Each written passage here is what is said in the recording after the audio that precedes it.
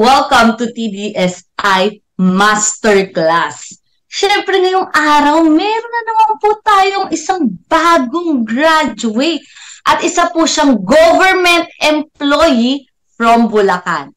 Here's Ma'am Diana Real de Los Reyes. Hi, Ma'am Diana Real. Hi po. Hello. Hi, Ma'am. Can you please introduce yourself more po para sa mga viewers natin? Um, my name is Diana Gil de las Reyes. Uh, Sugar for short. Kasi maraming nahihirapan sa name ko. Um, 40 plus years old. A wife and a mother. Then, uh, serving sa government for 17 years na. So for being a government employee, paano ka po napunta sa trading? Ano po yung um, background sa trading? Ah, okay. Ah, before pandemic, um, may nag-share lang ng link sa family group chat namin. Tapos napanood ko nga yung sinabi niya na uh, itong link na to, kapag nag-join ka, nag-invest ka, tapos iniwan niya lang, pagbalik niya, nakita niya, malaki na. Cryptocurrency yun eh, itatandaan ko. Then, sabi ko, try ko nga ito. Sinubukan ko. Siyempre, dahil wala akong knowledge, now, na-wipe out. In one month, nawala yung initial investment na parang $200 kasi yun yung requirement eh. Yun. Tapos, syempre, charge to experience. After nun, sabi ko, hindi ko na uulitin na sumabak sa ganun ng walang alam. Pero gusto ko maging trader kasi uh, gusto ko ng additional income na hindi involved sa sales, yung mga ganyan. Kasi uh, struggle ako sa pagbebenta, mga ganyan. Eh, yung trading kasi, wala kang ibang taong ka, ano eh, kaharap. Sarili mo lang. So, yun. Yun yung naging, ano, sabi ko, pag-aaralan ko to. Then, nung pandemic, yun nga, biglang nagsilabasan yung mga investment sa stocks na dapat daw ganito. Ayun. Naghanap ako ng ano, nag-open ako ng yung sa PSE na trader, sa broker, yung sa call financial. Pero hindi pa ako nag, ano, nag-trade. Kasi gusto ko rin pag-aralan yung kung paano yung sa stock. Nagpo-browse ako sa FB nung na-encounter ko yung Facebook page ng traders din. Yun, nag-join ako, tapos doon na nag-start. Nag-enroll ako ng CDS. So, kasama ako sa first batch na hanggang ngayon, hindi pa ako nakaka-graduate. Siguro dahil kasi... Nauna pa sa masterclass ka palang graduate, ma'am, compared oh, sa TDS oh, Forex. Oo, oh, yun yung maraming-marami talagang assignment. Pinarir ko din yun talaga yun nga lang, um, medyo na dahil nalipat ako sa work, nag-upgrade ako. So, hindi ko na siya nabantayan dahil 8 to 5 yung schedule. Mahirap siyang i dahil yung same time sa trading hours ng PSE. So, yun, nung nag, nag-offer ng, ano, um, yung PDSI, subukan ko din ito. Kasi nakita ko nga, yung sa Forex is uh, Monday to Friday, pero merong pang gabi. Sabi ko, ito na lang muna subukan ko. So, kahit after office hours, meron akong time. Ayun. Yun na po. Doon na nag-start. Tapos sunod-sunod na siya.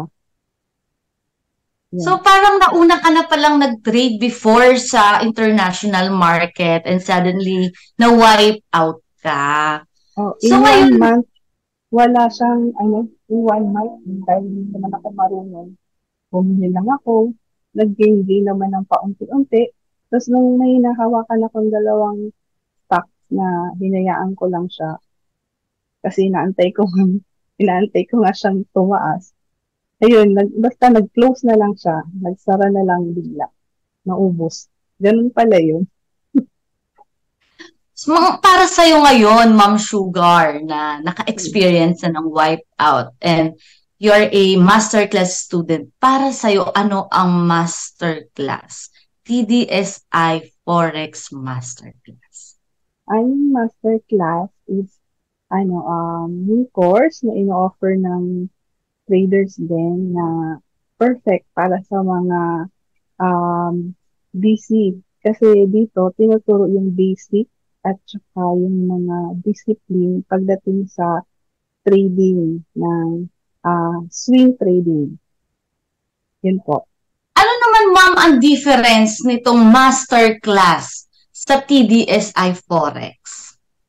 Ayun, yung sa TDSI Forex, uh, dito, dito ka mag-start. Ang TDSI Forex kasi is the prerequisite doon sa master class.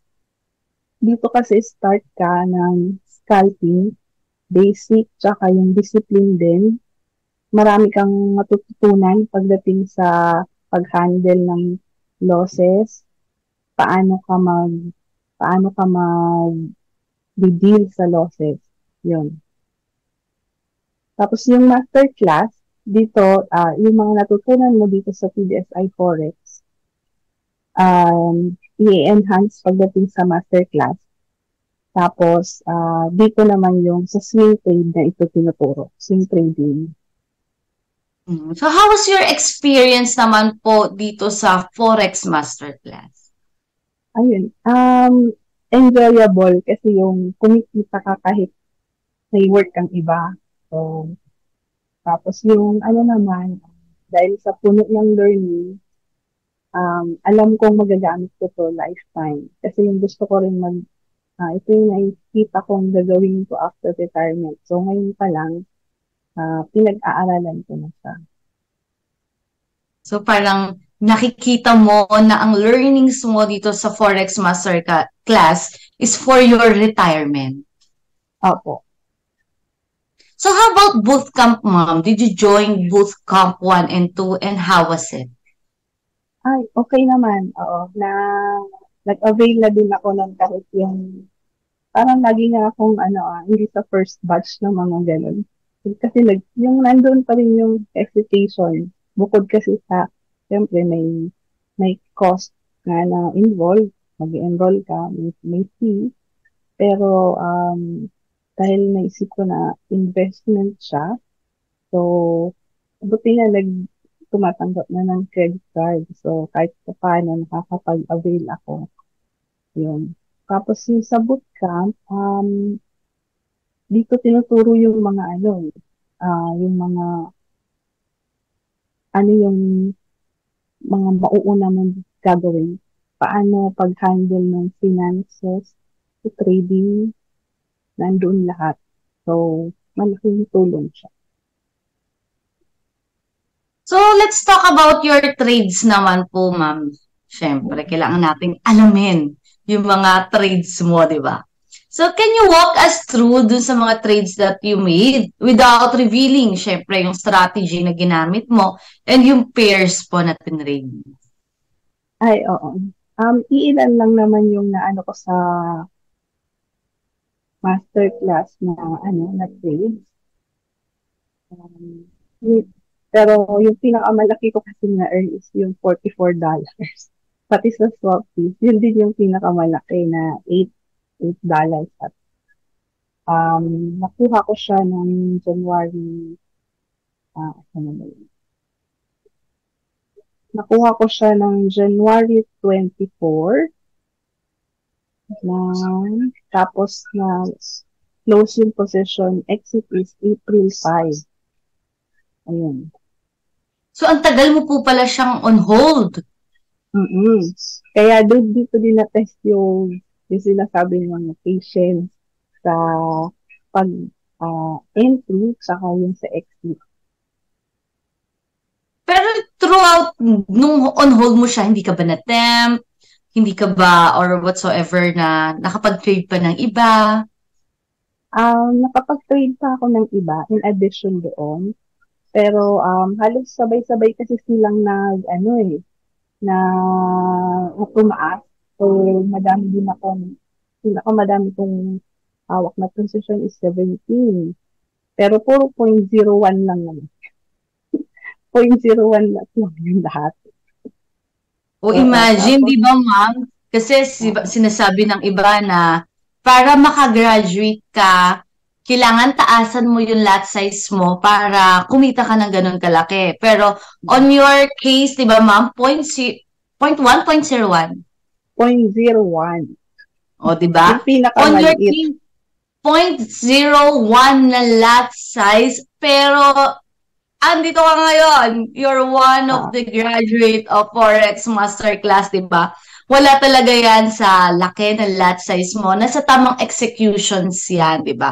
Once talaga na, na nakapasok ka ng tama sa isang pair, kahit gaano pa yan kalaki yung lot size mo, di ba? Bibigyan at bibigyan ka. Kung malaki man lot size mo, kung mali naman ang executions mo, wala din naman, di ba? So, congratulations. Nakakatuwa talaga to hear na your 0.01 na lot size, pero di ba, andito ka ngayon, graduate ka na, and you're earning kahit na ganun kaliit yung lot size mo, di ba? So, ang sugar, syempre, di ba, kailangan meron tayong proof ng iyong trades, di ba? So, meron ka po bang proof na ipapakita sa atin na katunayan na ikaw ay kumita or nag-gain even na yung, yung lot size is 0.01 lang? Oh, yes, ma'am. Meron naman po. Ah, So guys, i-post na lang po natin sa screen yung PNL po ni ma'am, yung mga trades po niya, para po makita ninyo na talaga pong si ma'am i-graduate sa kanyang 0.01 na lot size. So ma'am, lagi na sila sabi na eto, nakagraduate ka, kahit 0.01 lang yung lot size mo. Paano ba makagraduate dito sa Forex Masterclass? Yan, yung sa master class, um, dapat maka-earn ka ng at least $300 para ma-qualify for graduation. So, yung aking $500 na sinimulan ay naging 838. So, yun. Yun yung naging, ano na, ay, salamat. Graduate na. Kaya pagkatapos na nag-submit agad, nag-submit ako agad. Pero realized profit Actually, yung unrealized po umabot sa ano uh, 100, uh, $1,000. Kaya nga lang, dahil, syempre, sinusunod natin yung strategy na, ano, hindi ako nag-exit kahit yung lower time frame to 4 hours. Hindi ko ginawa. So, hinayaan ko lang. So, yun. May ano din, may regret, pero sabi nga ni ma'am lagi, dahil sa daily dose, nagpapaalala lagi na ano, yung kung ano yung dapat gawin na makakatulong sa amin. So, yun. Maraming beses pa ako mag-trade kasi hanggang after retirement, mag-trade pa So, can you say then na uh, yung daily dose talaga nakatulong sa'yo sa pagtitrade? Opo. Actually, kasama nga nakikinig sa akin yung asawa ko pag nasa biyahe kami. So, while, while traveling pala, talagang pinakikinggan niyo yung daily dose. Oo. so, mga mahirap bang mag-trade dito sa Forex Masterclass? Um, mahirap na hindi. Mas madali siya kumpara sa PDSI dun sa cal- scalping. Pag kinumpare mo siya, because sa case ko kasi, meron akong day, ano, 8 to 5 na work.